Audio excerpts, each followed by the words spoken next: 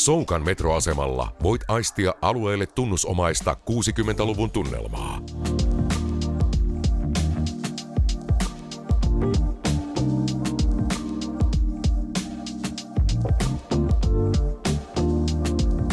Pintamateriaalien sävy vaihtelee valon ja katselukulman mukaan.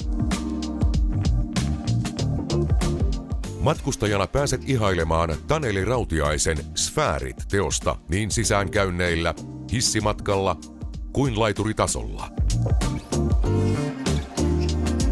Teos kuljettaa sinut kallioon louhitulta asemalta ilmakehän eri sfääreihin ja valovuosien päässä oleviin tähdistöihin.